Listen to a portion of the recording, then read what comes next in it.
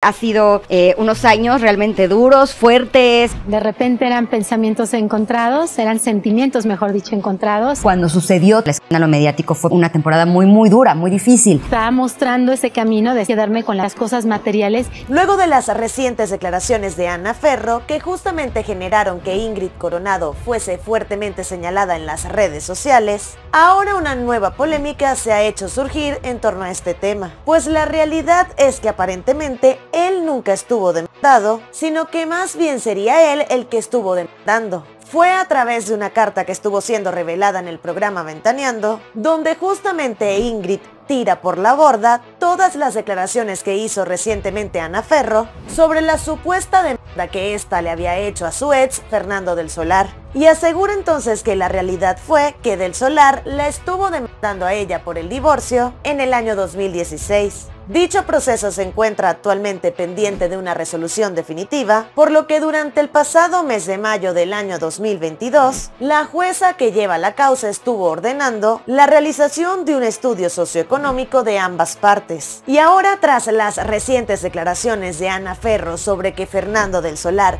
no estaba para nada de acuerdo en pagar mucho más dinero por la colegiatura de sus hijos. Ingrid Coronado finalmente rompió el silencio y en dicha masiva entonces también estuvo revelando que su ex esposo no cubría la totalidad de la pensión alimenticia de sus hijos desde hace un año atrás. Así que según las palabras de Ingrid Coronado, las declaraciones recientes de Ana Ferro no se hicieron con ninguna buena intención en su caso. Pero ¿qué fue lo que dijo Ana Ferro sobre el divorcio de Ingrid Coronado y Fernando del Solar? Ferro estuvo declarando que cuando ella había conocido a Fernando del Solar, había puesto sus propiedades, cada una a nombre de sus hijos, justamente por si en algún momento él llegaba a faltar, y que precisamente sería Ingrid Coronado la que cobraba la renta de estas propiedades para poder lograr la manutención de los hijos que tenían en común. Pero según la reciente carta escrita por la propia Ingrid Coronado, esa propiedades de las cuales hablaba Ana Ferro fueron pagadas tanto por ella como por Fernando del Solar, razón por la que entonces para pesar de Ana Ferro, también salieron a la luz unos documentos que comprueban entonces que aparentemente la versión que cuenta Ingrid Coronado sería la real, ya que justamente Fernando del Solar la estuvo demandando en el año 2016 precisamente por el caso de su divorcio,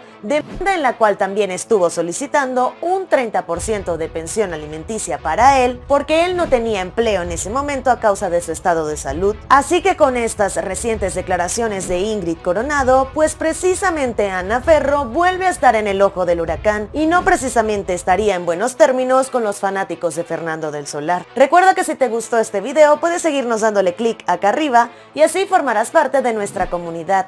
Nos vemos en la próxima ocasión.